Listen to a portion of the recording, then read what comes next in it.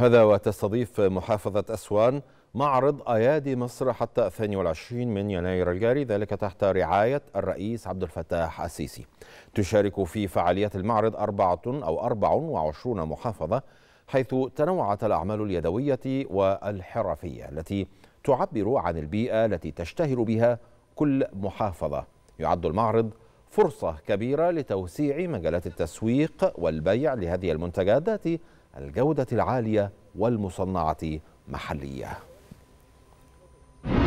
إحنا مشاركين النهارده في معرض آه، أيادي مصر آه، أثناء زيارة معالي رئيس الوزراء آه، والمعرض ممتد لمدة ثلاث أيام بإذنك أنت يا رب ومشاركين بمجموعة من الحرف التراثية جميلة جدا ومش متواجدة في محافظات تانية وبتعبر عن محافظة بني سويف. أنا المعرض هنا هو بيضم جميع منتجات التراثيه واليدوية للبحر الأحمر ابتداء من راس غارب لغاية شلاتين.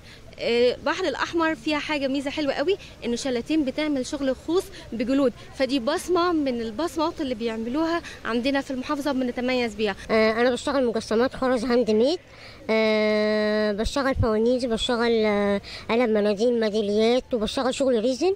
أه جايين طبعا محافظة آه، المنيا.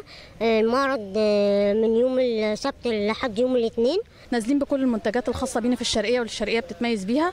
هنبدأ مع حضرتك زي ما حضرتك شايف العرايس الخشبية. العرايس الخشبية ودي بتتعمل من مخلفات الأخشاب العص- أخشاب الموالح بالذات. نتعمل منها العرايس الفولكلور زي ما حضرتك شايف ودي الشرقية مميزة بيها. عربيات أو أشكال مختلفة. وفي بعد كده البردي جنبها البردي ده برضو من أهم الحاجات اللي بتميز الشرقية وخاصة إن إحنا بلاد زراعته في قرية القراموس مركز أبو كبير في الشرقية. في معانا تشكيل من منتجات كتيرة ما بين ال- السجاد اليدوي وما بين الخزف وما بين الشغل الجلد الطبيعي من الحاجات التراثية.